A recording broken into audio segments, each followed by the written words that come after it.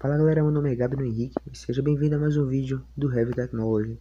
Hoje pessoal estarei ensinando a vocês uma dica bastante simples, prática, fácil é de você estar resolvendo problemas com a bateria do seu celular que vai ajudar muito no caso você que é, tem uma bateria que descarrega muito rápido essa dica que eu vou mostrar para vocês vai ajudar muito o desempenho do seu celular na bateria do seu telefone, tá certo?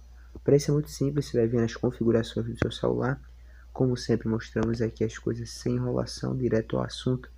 Você vai vir aqui em apps e notificações, dependendo da versão do seu celular, é, pode estar em palavras diferentes, por, talvez esteja em aplicativos, enfim. O que importa é você ter acesso aos aplicativos do seu celular. Clique em ver todos os aplicativos. Eu vou dar um exemplo aqui bem simples aqui, que é o aplicativo do 99 aqui. Quando você chegar no aplicativo, você vai fazer isso com é, diversos aplicativos. Já já vocês vão entender o porquê. É, vocês vão clicar em permissões. Você deve ter acesso às permissões que você concedeu ao aplicativo. O que acontece?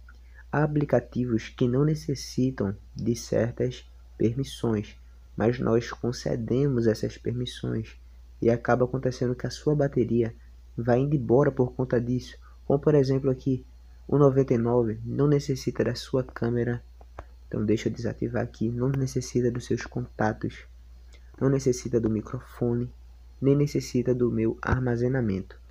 Por esse motivo aqui, eu já estou economizando a bateria ao eu, eu abrir o aplicativo. Outra coisa aqui, vamos em mais aplicativos. Vejamos um aqui qualquer. Pois bem o fotos. Vamos aqui em permissões.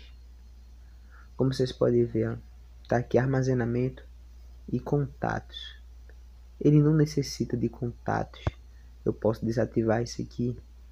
É, a não ser que tenha algo específico que você queira fazer no aplicativo, sei lá. Aí você deixa ativado. Ele não precisa da minha localização. Posso desativar a localização. E você vai fazendo isso com os seus aplicativos.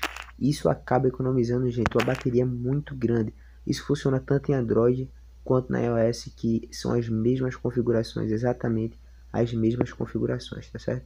Independente da sua versão do Android, vai dar certo isso com você para qualquer celular que você esteja utilizando, tá bom? Então, gente, muito obrigado por ter assistido até aqui. Eu vou ficando nessa, tá certo? Até a próxima, valeu e fui!